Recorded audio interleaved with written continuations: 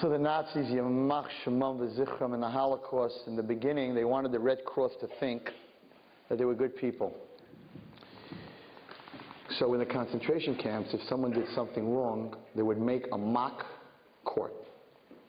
And they would take a Jew and make him judge. They would take a Jew and make him prosecutor, and ma- take a Jew and make him a lawyer. And they would take a Jew to write the stenograph to write the case. And that way they could tell the world, listen, what do you want from us? The Jews are judging the Jews. We, and they showed this to the Red Cross. So there's a story, it's written. Unbelievable. And when I heard the story, I was mamash shaking. There was a story of a woman, she was being judged because they caught her smuggling in some bread into the ghetto. So they made a mock, this was actually done in the ghetto, they made a, a mock court. And the Germans rounded up a couple of Jews, they made this Jew, they wanted the Jews to judge the Jews, they were so evil. They wanted us to hurt each other. This was their, to break our spirit. So they, they had a Jew as a judge, and a Jew as a prosecutor, and a Jew as a defender, and there was this poor young girl who they caught smuggling into the ghetto. And she's standing there. And the prosecutor has to say, you know, we caught this girl, whatever it is, and um, she has to get 40 lashes.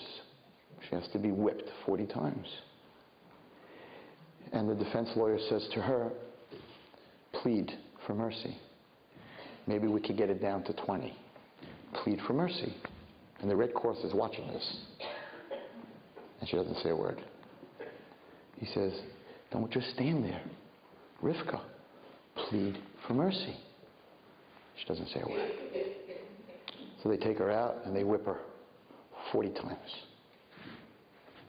Many, many, many, many, many years later, she's an older woman. Maybe in Eretz Yisrael, I don't know where they met. She meets the defending lawyer that was in that case, that mock case, that fake case. And they recognize each other. And he says, Rivkala. And I always wanted to ask you this question. Listen carefully, girls. Why didn't you defend yourself? You could have gotten it down to 20 lashes. Why didn't you say something? She said, because the case was on Shabbos. And every word that I would say, the Jewish girl, the stenographer who was writing it, would have been Machal Shabbos. So I couldn't say anything. I didn't want her to be Machal Shabbos. Ladies, is that where we're at? Is that how much Shabbos means to us? That's where we need to be at if we want Mashiach. What a story. I cried when I heard the story because I know so many kids that are Machal Shabbos.